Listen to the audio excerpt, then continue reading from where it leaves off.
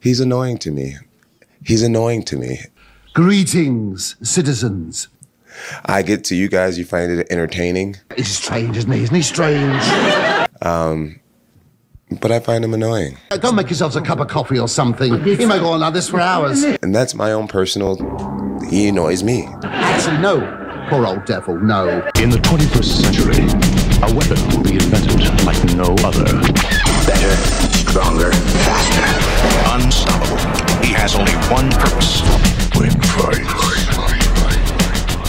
Right, everyone, welcome back to the channel. We have just returned from New York yesterday and uh, we're pretty jet lagged.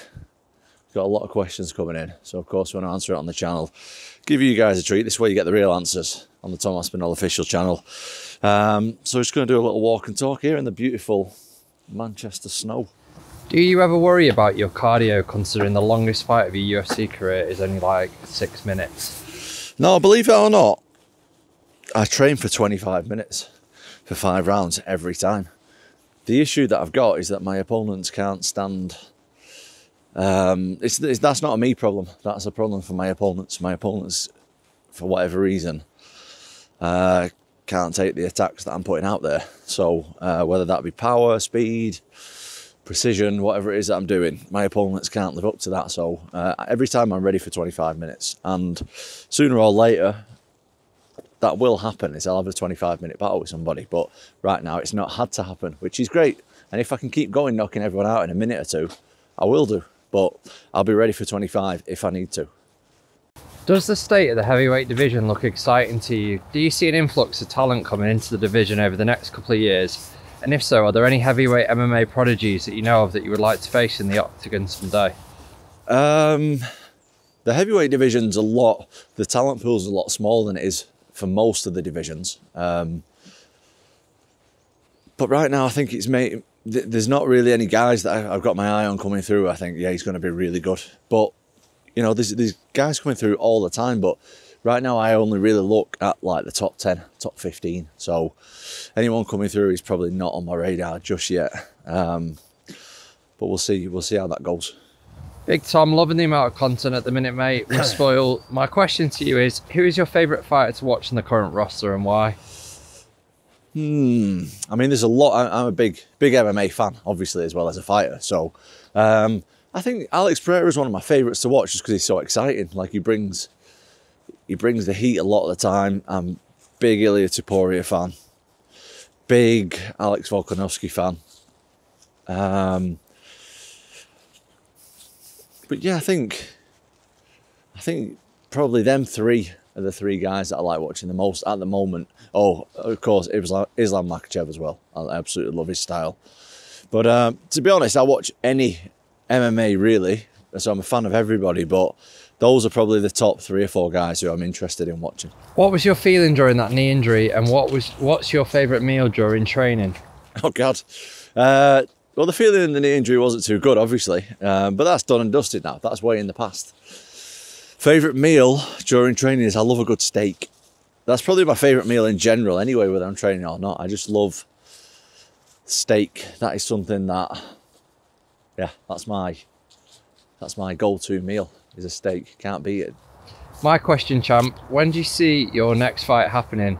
Brackets, we all know from that smile that it has to be Jon Jones. Please reply, thanks a lot. Yeah. My uh we're in negotiations right now, is the honest answer. So we don't know when the fight is gonna be. But I'll be ready to go whenever. I'm back in the gym now. I'm back in the gym training, as always, and I'll be ready to fight when they let me know. Until then, I'll be improving. I'll be getting better. So no great rush on that. Obviously I want to fight as soon as possible, but um, right now we're just waiting for a date. That's it. Favourite tattoo style and designs? I'm a fan of all tattoos, really.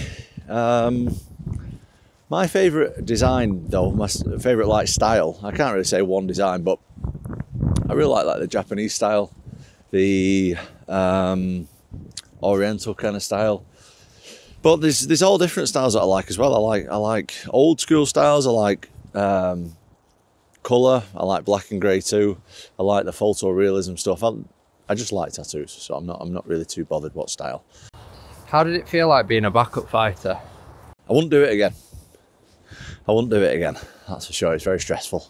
You just don't. I just couldn't fully relax for the full time. Um, but it's done now, so that's a, that's a box ticked. But I won't be doing it again. Right, let's take a little break. Big news now on Skool. You can head over to my Skool page. Big changes are being made over there. We are going to make it free to start an MMA community over on my Skool page. Make sure you click the link below. Head over there. This is now free. Head over, join the community for free. Now click the link. How did it feel coming from working at an O2 store when you were at BAMA to headlining the O2 Arena for UFC? Some rise of greatness that, mate. Glad to see it. Working at an O2 store. I didn't think you I've had. never worked, never worked at an O2 store. I used to before I was working. When I was working, all What the was jobs, Tom, Tom Aspinall's jobs? my Aspinall, Tom Aspinall's jobs were. I'd done a few jobs, but my jobs were always like to pay for my fuel to put in my car to go to the gym so I can train, pay for supplements, pay, pay for anything that contributes to me being a professional fighter. So I used to work on the door a little bit, work security jobs. Uh, I used to work in a gym.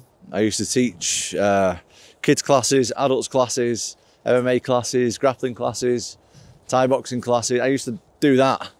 Um, for even like odd jobs, like I used to, I used to clean a little bit. I used to be a bit of a cleaner and stuff. Just anything that I could. One, one at one stage, I was even being a delivery driver for takeaways. So I just did I did that. anything It's that I could. job. Anything that I could. It was a good job actually. I used to get loads of tips. Um, is Ciryl Gane or Volkov 2 a harder fight? Um, both tough fights. They're both tough fights. I think um, stylistically, they both bring, both bring their own problems. And in the heavyweight division, you're never one punch away from disaster. So I can I can lose to both them guys on their day. But uh, yeah, I think they're both tough fights. How do you keep yourself motivated to stay competitive or just stay motivated with these long breaks in between fights? I mean, the breaks aren't that long. That's just the way that it goes ringing at the top of the division. Um, pretty easy. I just don't want to get beat up in front of millions of people. So the motivation is there. I, I never just train for six weeks. I'm training all the time to get better. So even even if I fight another six months from now, I'm still training to get better because I don't want to get my ass kicked in front of millions of people. A lot of these, but almost similar. But do you feel confident in your ability to stay in the fight through later rounds and get through tough spots? Big fan, by the way. Yes, I do. I absolutely do. And I'm going to show that one day. But until now, I've not had to. And it's not my fault, it's my opponent's fault. At what age did you start growing and when did you reach your full height? What age did I start growing? Well, when I was born, I started growing. Uh, but I, I presume they mean when I started growing tall. I started growing tall when I left school, so when I was like 16. I wasn't that tall when I was like at school and stuff, but when as soon as I left, I started really. Uh, I went on a bit of growth spurt for some reason. Looking back over the last 25 to 30 years of MMA, who are your top three of all time favourite heavyweights? If you haven't been so passionate about combat sports, what do you think you'd have focused your athleticism on? Well, if I, if I wouldn't have been so passionate about combat sports, then I probably wouldn't be as athletic as I am. That's just a product of me um, doing combat sports for a long time and being involved in a sport. Is I needed to improve my athleticism to be better at what I'm doing. Uh, but my top three heavyweights of all time are probably Fedor. Is probably one. Um, Cain Velasquez and Stipe, probably my three favourites. Who'd win an MMA fight between Andy Aspinall and Mike Tyson? But right now, I don't, I wouldn't want to see it to be honest. Watched Mike Tyson box the other day and I thought, I don't want to see this. My dad's also like 61 years old, so I don't want to see either of them have a fight ever again. How many times a day do you train? When are you getting ready for the fight? When, when am I get when I am getting ready for the fight? Yeah, when you're getting ready for a fight. Twice a day, generally twice a day. Sometimes three, sometimes one. But uh, I'll do six days a week, usually twice a day. What if Jon eye pokes you? You know he'll do that, right? How are you going to deal with those oblique kicks? It just isn't fair with Jon, is it? I don't know. I've not fought him yet, so I'll, I'll I'll cross that bridge when I come to it. But for right now, I don't know. What does your training regime look like in a week when you're preparing for a fight? And is it different when you're not prepping for a fight? Uh, so I'm I'm someone who trains consistently anyway. But when I am training for a fight, it's mainly the intensity that's different, really. Like I'll, I'll still train once, twice a day if I've not got a fight. Uh, but the intensity is way different. The intentions that I'm putting in to my workouts are way different when I'm fighting. I'm, I'm focusing on what I'm doing.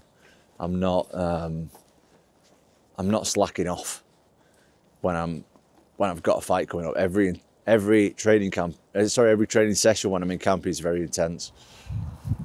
Do you think you could beat Brock Lesnar in his prime? Yes, Why? I'm just better. Uh, I'm way better than Brock Lesnar. That's why. I mean, he's old now, but when he was in his prime, I still think I would have beat him then because I'm just better than him. Has there been any talk between you and Eric Nicksick about training or sparring with Francis Ngannou? Yes, but that's personal conversation. So I'll uh, I'll keep that I'll keep that away from the camera. Me and Eric are friends, but that's that's personal business. It's our secret. What's your go-to ro- ro- routine to train cardio? I'm a young fighter currently in college and haven't been able to train too often, so I was wondering what I could do to improve cardio. Well, you need to if you want to do MMA, you need to be sparring. Really, sparring and, and conditioning drills with a partner is the, is the most specific thing you can do for MMA.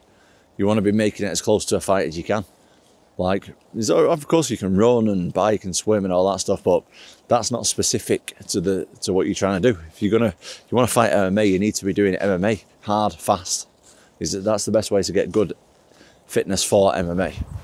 In all the years of fighting, who is the opponent that has taught you the most? Not the better, but who's taught you the new skills? Hmm. I don't know. I think you learn everything from every fight. Even if you win the fight in a minute, you still learn about yourself a little bit. So I would say every fight's like a little, little lesson in itself, in my opinion. Is there any specific martial art you like to train? What is the most what is the most fun martial art according to you to train? Um, I, I don't see it as separate martial arts. I see MMA as one thing. I don't see it like separately. I think MMA is a sport in itself now. I think the days are gone where it's all separate. So I just like to train MMA. I like mixing it all together. That's what's fun, fun for me, not the restriction of one thing. I like the way that it's open and uh, you can you can train it all together, put it all together. Last question from me, mate. What um what are we expecting in the next couple of weeks for for the channel? Don't know what what we're expecting. Thought we we're having a week off, aren't we? All right, okay. So we've been doing a lot of content. We've been putting a lot of content out there recently. We've obviously just come back from New York. We have another trip planned coming soon, so it's all go. So next week we're going to be off. There's going to be no video next week. Um, I don't want to force content out there just for the sake of putting it out. So I appreciate everyone watching, everyone subscribing and stuff. But I only want to put stuff that's quality out there for you guys, and uh, I don't just want to put stuff out for the sake of putting it out. So we've got some big stuff coming up. When we've done it, we'll be putting it out there. But next week we're having a week off. Road trip. Road trip! Right, thanks for tuning in, guys. Really appreciate it. As always, thanks for the support. We've been doing, like I say, we've been doing a lot recently on the channel, on the uh, on the socials as well. We're doing loads. We've been doing a lot of stuff, but thank you very much. Couldn't do it without you guys. I appreciate the support. Let's keep the channel going. Let's keep the socials going. Let's keep everything going because we have more big, big stuff coming up here soon. So if you're not liked and subscribe, please do. And until the next time, I'll see you soon.